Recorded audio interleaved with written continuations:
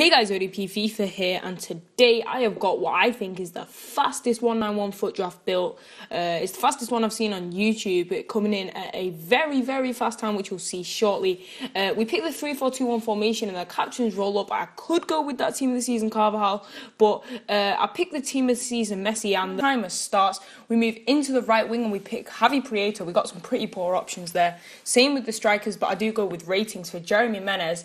Now, here is a pretty interesting I decided to go with the Insigne to wait for a better Neymar, um, which does end up paying out um, later on in the draft, as you will see. We get a team of the year in Iniesta, followed up by a Luka Modric and a Giggs, and that is what I think is really important to building a high-rated FUT draft is getting a good midfield.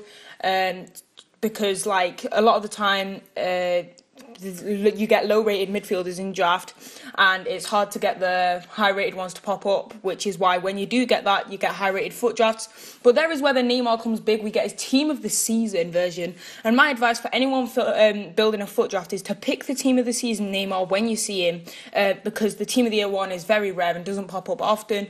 We then get saved there by Gareth Bale, so we don't have to play Javi, uh, Javi Prieto, I think his name is, uh, who is the 78 rated right winger.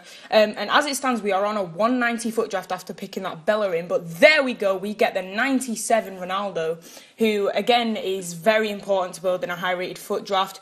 Um, and at the moment, we are on a 91 rating, but after I change it around, we are on a 92 rated team with 95 chemistry. We then keep the rating higher with an 87 rated team of the season, Ziyech. Um, and as you see the timer in the bottom corner, we're only a minute and 30 into the FUT draft. Um, and here I could go with Vitolo, but then I look at the team and realise I don't need him, so we stick with ratings again. Go with man of the match Arturo Vidal. Uh, Koscielny then pops up there, which is good for the rating. Um, then again, I don't need any of these players, so I go with rating for Pereira. Uh, same with the goalkeeper, we get an 88 rated Julio Cesar, which is pretty lucky.